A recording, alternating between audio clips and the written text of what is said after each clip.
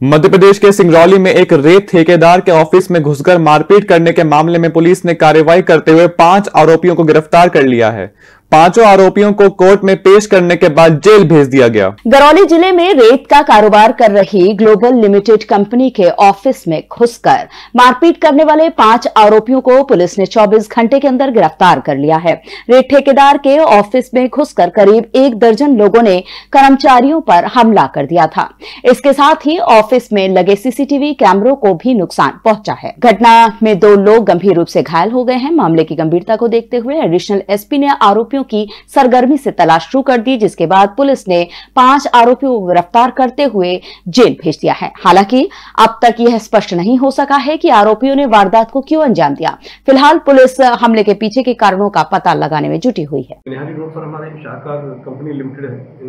कार्यालय कुछ कार्यालय पर कुछ झगड़ा वगड़ा किया था। झगड़ा के बाद हमारे पास सूचना आई। सूचना के तत्काल बाद पूरी पुलिस टीम ने हमारी ने कार्रवाई की और सभी आरोपियों, जो पाँच आरोपी थे जो झगड़ा करते हुए दिख रहे थे, पाँचों आरोपियों को गिरफ़्तार करके उनको जेल भेजा गया।